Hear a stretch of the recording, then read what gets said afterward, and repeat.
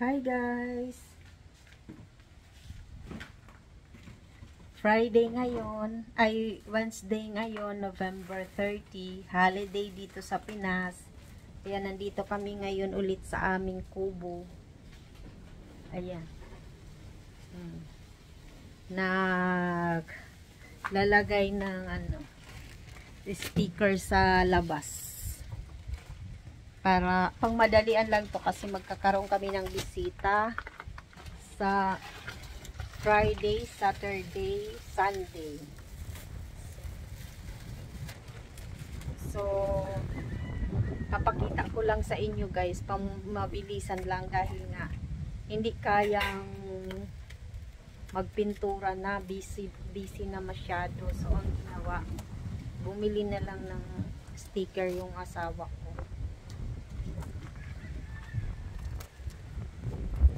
Ayan. Ayan na guys. Diba parang totoo din naman. Kahit fake.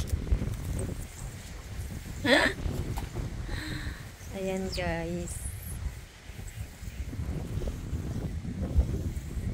Ayan. Ganyan ang magiging nagiging, naging itsura.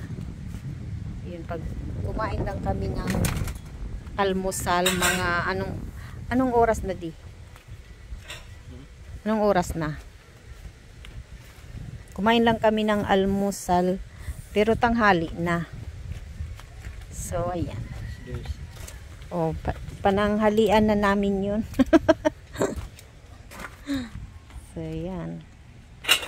Pakita ko na lang sa inyo guys mamaya pagtapos na. Ayan na guys ang ano nailagay na niya. Kumain kasi muna kami kaya Ayan. O, diba maganda naman siya.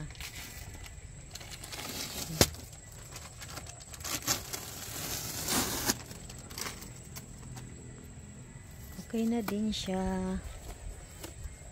Pansamantagal. Pag di matanggal, pansamantagal. Pag natanggal, panandalian lamang. Kaya ulit guys.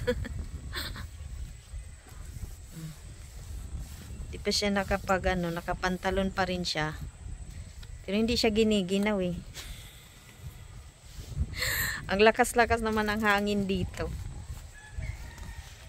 You know, kung lilipad yung ano, buhok, ayan at kita niya yung mga halaman. so, yan na guys ang aming kubo-kubo. Nagmukha na siyang kubo. Yan. Diba? Halata pa bang ano guys? Ganda na no.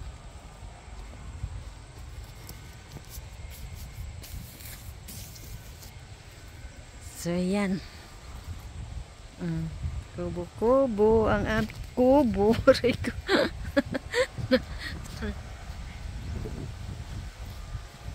hmm. Lagyan na din doon. Ah, galing. Kakulay siya ng pintura sa loob. May ano siya, may kol, may, oh, ba?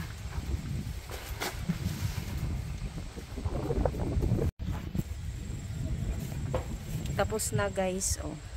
Di ba? Natapos na 'yon sticker naman dyan sa glass.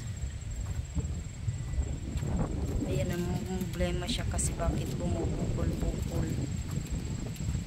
yung bintana yung sticker. Mga bukol-bukol hindi talaga siya. Ayan natatanggal naman siguro pag pinahit-pahit mo. Lumulobo parang lumulobo. Yan So, hindi nakita doon sa loob, guys. Pagka na, ano, ano yan lahat. Ito, wala pala. So, ganyan.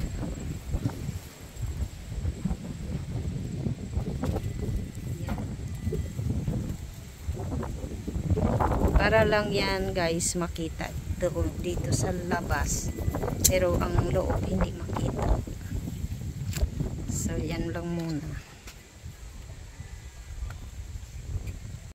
Ayan guys, nagbutas nagbutas na naman siya para sa tanim. Para, para guys mapabilis.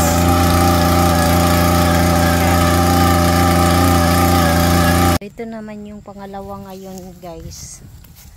November 30. Masikip man. Ano yan? Maliit yung butas.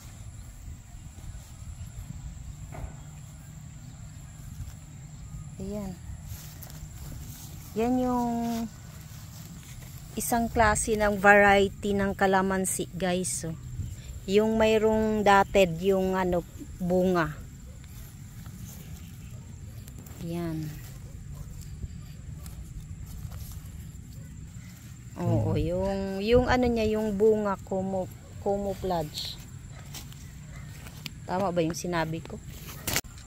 So ayan guys, ito naman yung nabili namin ngayon kanina. Yan. Lah, lima. Limang piraso pala di. Yan, limang pirasong ganyan. Kasi gandang-ganda ako niyan. Pag lumaki tapos ititrim mo ang ganda lagyan ng ano ng mga ilaw. Yan. Tapos ito naman, ito yung pag naiilawan, nagiging silver siya. Nakalimutan namin kung ano yung pangalan niya. Yan. So andun yung isa na itanim na. Yan.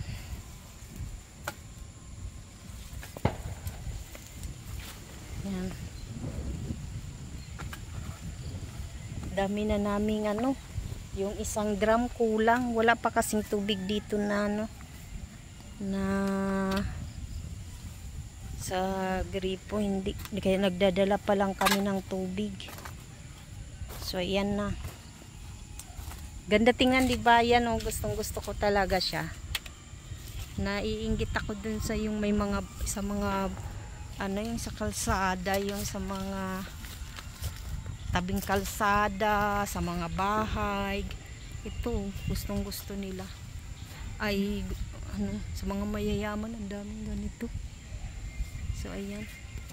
Mayroon na din kami.